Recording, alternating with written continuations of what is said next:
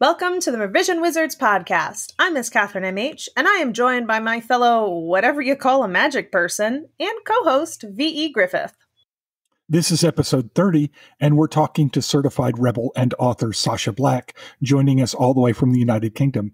Sacha writes nonfiction under her own name and has just started a new pen name for her lesbian sapphic fantasy romance, Ruby Roe.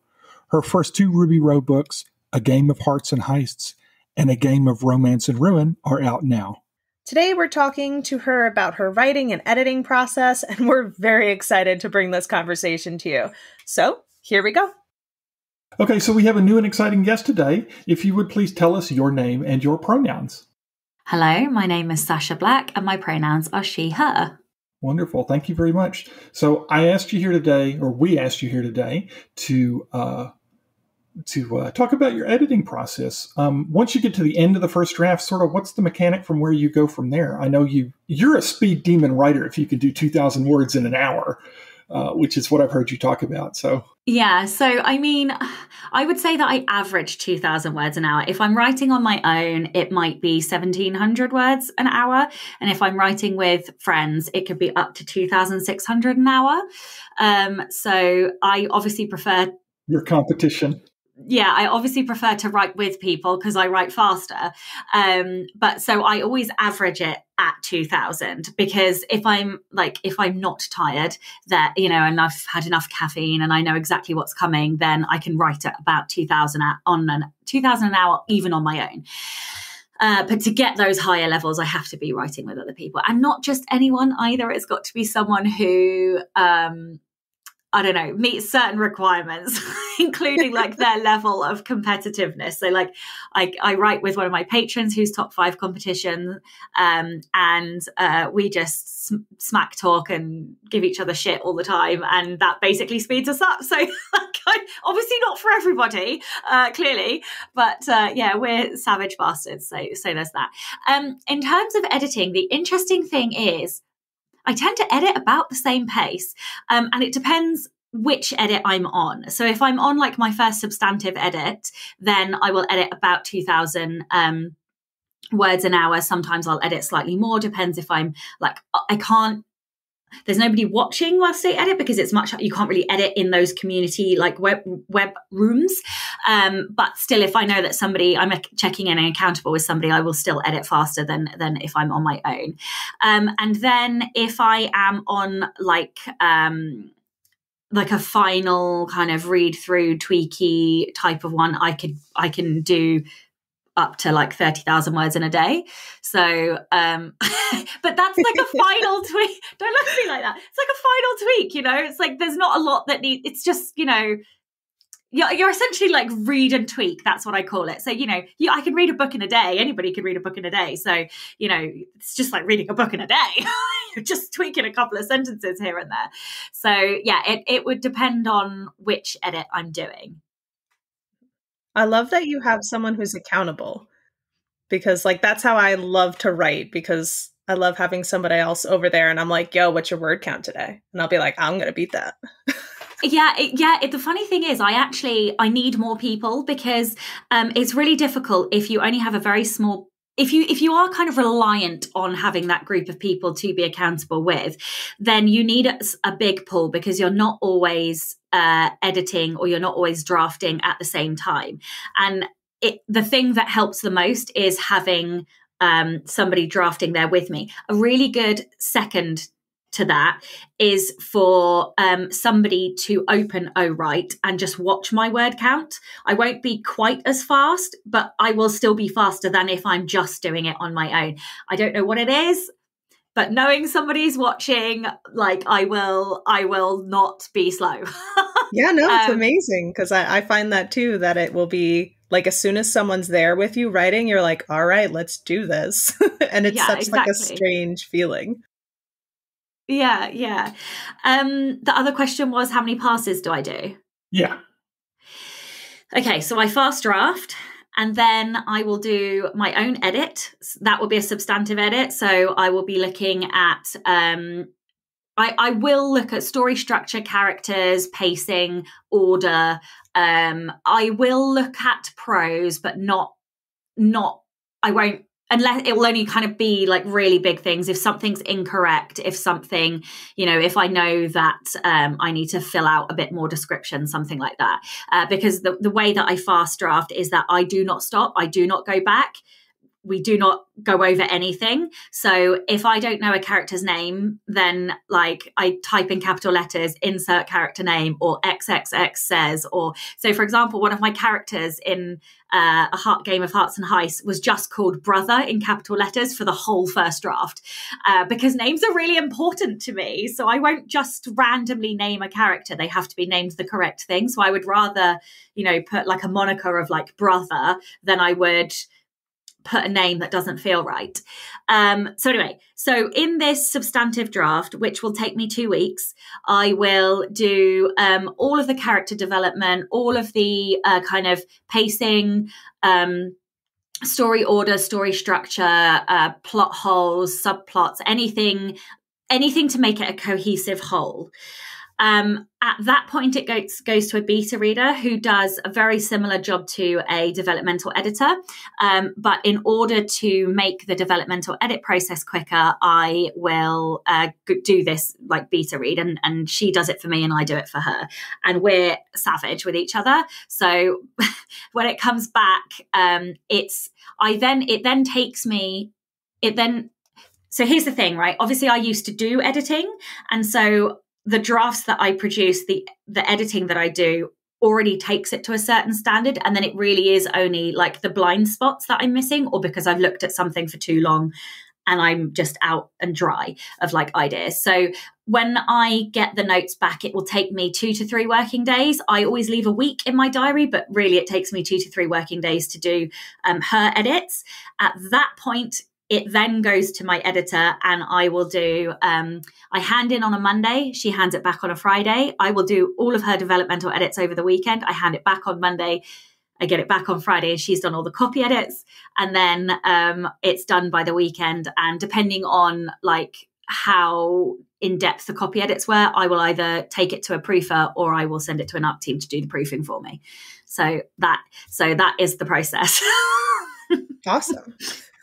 Yeah. That is ungodly fast. I'm I, I do I'm a line editor and it takes me a long time. I'm very, very slow at it. So it's I, I don't think I could do it that quickly. Yeah, I mean I, have I have worked with all different types of editors, and I've worked with editors who take a month to do edits. That was about average, um, and I have worked with yeah you know editors that take two weeks, and um, I've just found somebody who's very quick, and because I'm quick, I need somebody who's quick. Um, and so yeah, I mean it, it, really kind of depends. And the other thing is this new editor that I'm working with because this wasn't the old process that I, I went through. Um, she's incredible. Like I haven't had an edit like this in years and it's really nice to to be at a certain point in my career and know that I can write a good story and still have a developmental edit and still be learning stuff. So this is just the power of editors, really. Oh, that's awesome. Excellent. Is there a process difference between your fiction and your nonfiction? For drafting, yes for editing, yes, I'd probably say so as well. So, do you want to know both, or shall I just tell you the editing difference? Go ahead and do, go ahead both. both. So, for for drafting, um, I didn't used to, but I do now write in order for the fiction, and for non-fiction, I absolutely don't write in order. I uh, non-fiction is like doing a puzzle, and so to draft, I kind of draft in in chunks. So, like an idea or a tip or a concept. And then it's a matter of like the closer I, the more words I produce, the more I can order them and structure them.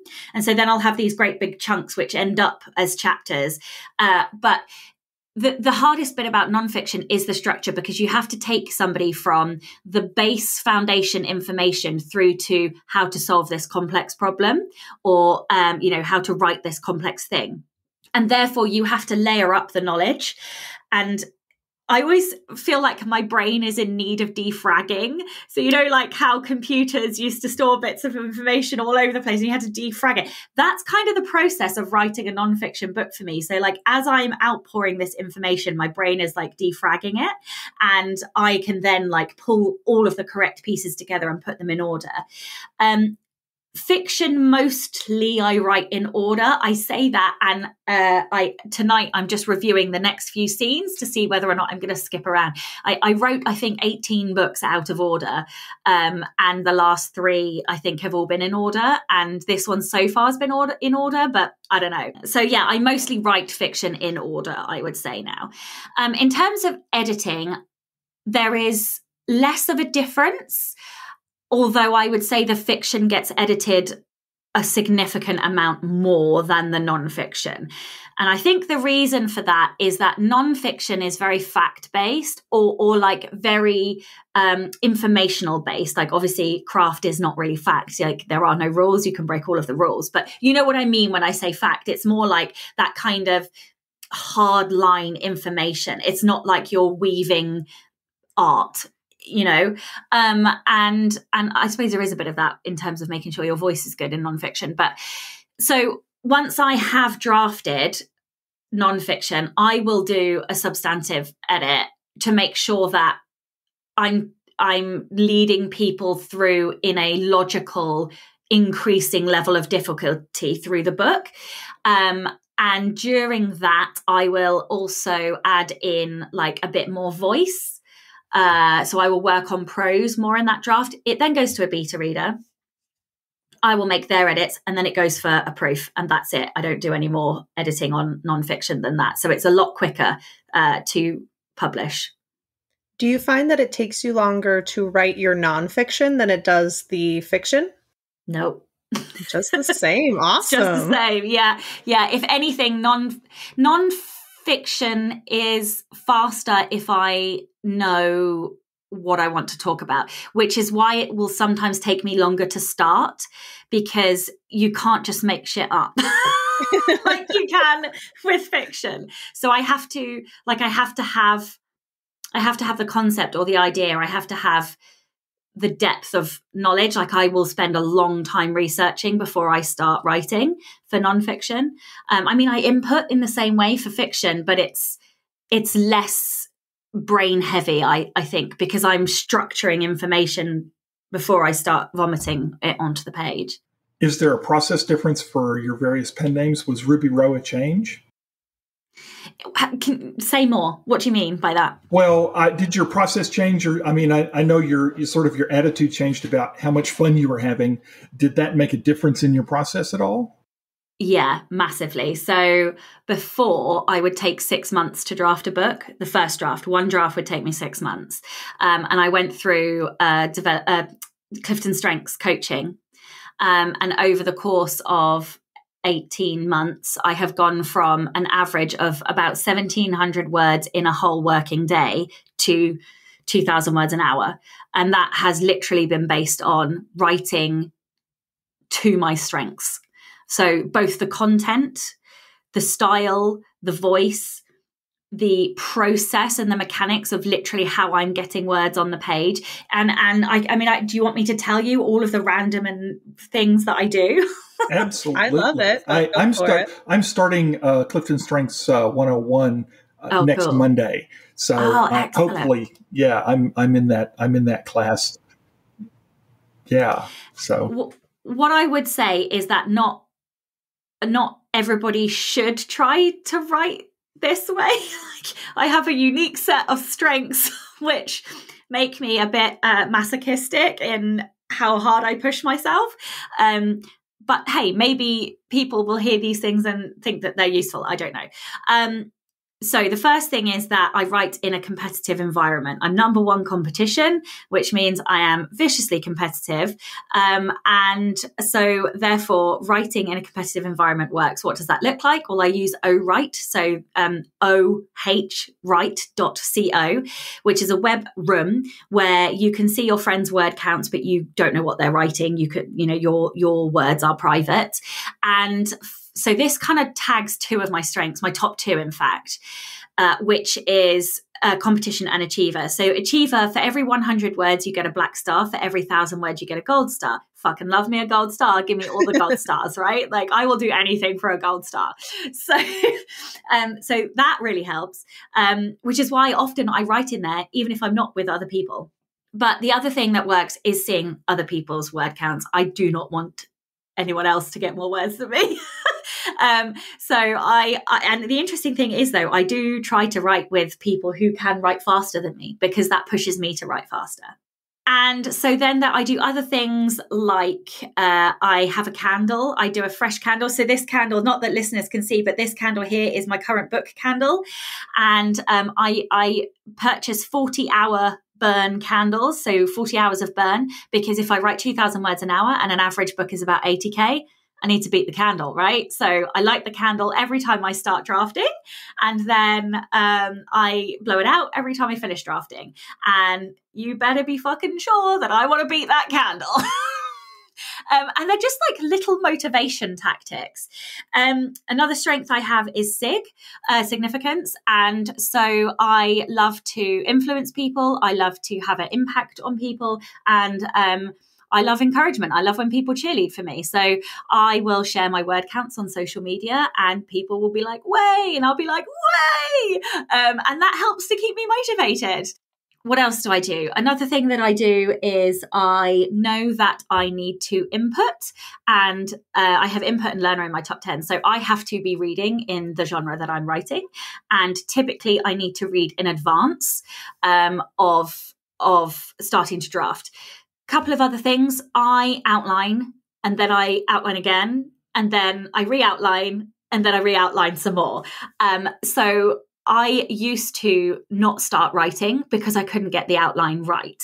Now I will get to a tipping point where I feel like I know enough and I will just start writing because I know that in any draft, any first draft, I'm probably going to re outline three times. So I will just let myself go um, and, and do that. Um, and there's other things that I'm doing, like using tropes as the skeleton story structure, because uh, in, tropes have innate conflict in them, which enables me to write quicker because there are certain beats and scenes you have to hit in in in a trope. So that really helps as well. Um, so yes, I would say, and also now, oh God, how could I forget this? the biggest thing that I've done is blend an understanding of the market with what I'm writing. As a number one competition, I love to look at the market, understand the market, know what's popular in the market. Um, is that always exactly what I want to write? No. But usually, what I can do is take enough of the popular items and blend it with what I want to do in order to make it still sellable. And I did not do that with my first series. And not getting the sales made it really hard to want to write the next book uh, because of SIG, because of competition, because of Achiever. So, um, I, for me, and in order to keep me writing, I have to know that there's at least a chance to make money with the series. Otherwise, I'm just not interested and I just can't get the words out. So, yeah, I would say um, that Ruby has been a real shift in in every level from physical drafting to new editors to new like I will continue to look at the market whilst I'm drafting as well. Like it's a daily thing. I check the top 100 every single day and I look at um, my genre top 100 most days, I would say. Um, and yeah so uh, but like it's giving myself permission to do that like that gives me pennies to know who's winning right now in the market right like that is something that's really important to me because i want to be the fucking winner of course. Uh, of course right? So in order to do that i have to know who else is doing it and how they're doing it and why they're doing it and what is working and what can i do that's better than that. Um, and so yeah but i would not do that before. I like wouldn't give myself permission to do that. And so it's ruby has been a a, a lesson in permission giving i would say. Well you're it's it's always interesting to listen to you talk about this because i'm like complete opposite. I'm 24 sig uh 30 competition and 34 achiever so it's like i just don't i yeah, yeah, i don't give a shit um, yeah. Oh, yeah, I love it. So it's it's funny. Um, Okay, what's next on your editing journey? Do you have do you have anything? What do you think you're going to change next? Do you have any idea? Uh, yeah, I, I, mean, I'm going to change. I, I, something changes every single series, every single draft, right? This last series was about writing fast paced, unput downable stories. Um, and so, whilst there are some really nice lines of prose in there, most of the good prose is like banter dialogue.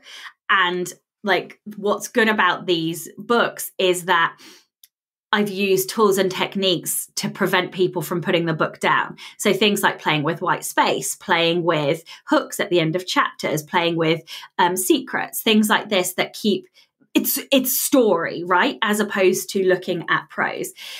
The thing is is that i also really really love prose and the art form of like creating beautiful sentences.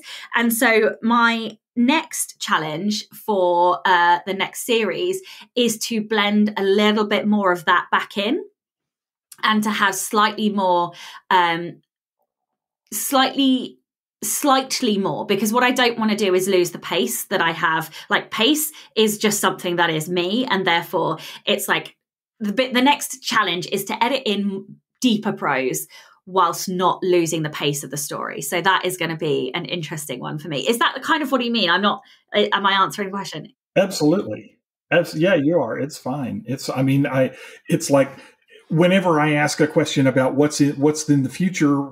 How the hell do I know? You know. But but it's it's always it's always neat to be open to change as opposed to oh this is the thing that works. I'm never going to i'm never going to change it because it's the only thing i know.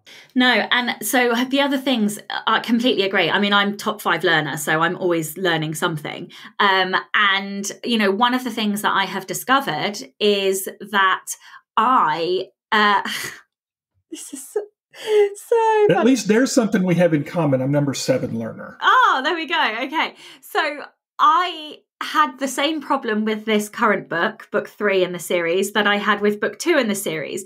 And that was I went to start and I couldn't get the emotional tone right between the couple. And I was saying to my coach, like, why is it wrong? Like why why have i tried to rewrite this four times? Like what is going on? And and i was like i i can't get to the bottom of the conflict. Like why is the conflict wrong and she was like, it's not conflict, it's context. She was like, you don't know where they've come from. Like, why? And I'm like, well, why don't I know that? Why do I need to know that? Like, rah, rah, rah. And she's like, your your context 33 so of course you're not going to think about that so like for me it's like okay all right we've worked on the things that i'm good at now let's look at some of the like um, putting that stuff into place whilst I'm outlining, like before I start, uh, rather than stumbling across that like 10,000 words into the book and going, fuck, now I need to go back and rewrite like the beginning, you know, or whatever. So for me, um, this next series that I will be starting in September, I need to give myself a bit more time in the outlining phase so that um, the drafting and editing is easier, I would say. Okay. Well, that sounds great. What did we miss that we didn't discuss that you thought about as you were as you were reading what I sent you? Uh, I don't know. Okay. okay, great. Well, where can we find you on the internet? Um, so you can find me at sachablack.co.uk. That's Sasha with a C. So S A C H A, the colour black.co.uk. Um, and uh, on Instagram at Sacha Black Author, or you can listen to the Rebel Author podcast. Okay, great. Well, thank you very much, and we'll see you next time. Thank you so much for joining us for today's episode. You can find every episode on your favorite podcast player and on YouTube. For transcripts, please visit our website at revisionwizards.com. They go live the same day as our episodes. If you'd like to reach out to us separately, you can find me at vegriffith.com and Miss Catherine at scribes-pen.com. Stay magical.